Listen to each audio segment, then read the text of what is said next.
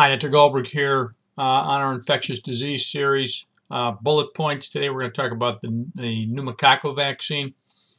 Uh, certainly, we've been given the pneumococcal vaccine for dec you know, decades. Um, uh, we've had the Pneumovax out for years, the polysaccharide vaccine, the 23 valent vaccine for pneumococcus. Um, up until now, we haven't had anything new.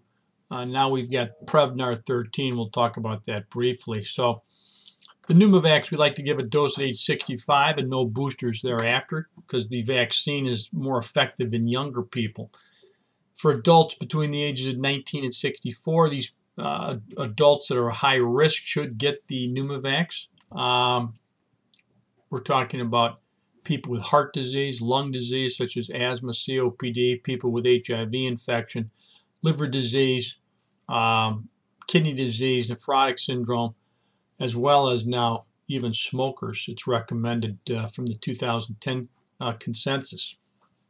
So um, now that we have Prevnar, which is a conjugate vaccine and has very good immunogenicity, uh, that vaccine contains the 6A serotype, uh, which is uh, otherwise the Pneumovax contains all the other 12 that the Prevnar 13 has. Uh, but the Prevnar 7, which has been out for the uh, kids uh, for many years, has been very effective to decreasing invasive pneumococcal disease. So uh, we're anticipating to see decreased problems with pneumococcal uh, disease over the next uh, many years with the use of both of these vaccines. So up until now, the uh, Prevnar was recommended for adults between the ages of 19 and 64, one dose. And of course, the uh, Pneumovax has been recommended uh, in that population as well, but there should be separation uh, of at least a year uh, between those vaccines.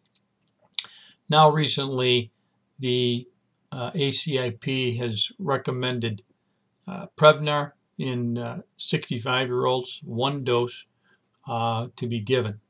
So that's a kind of a breakthrough, and we're recommending the there, there'd be a separation of six to 12 months for sure between the two vaccines. Prevnar 13 is now recommended to be given first at age 65. Now, mind you, no more boosters after age 65.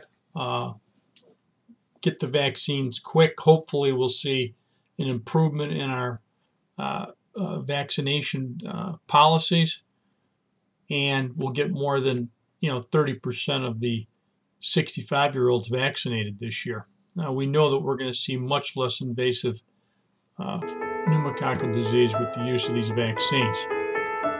So, uh, signing off for now, but I'll update this as needed. Thanks, Dr. Gullberg.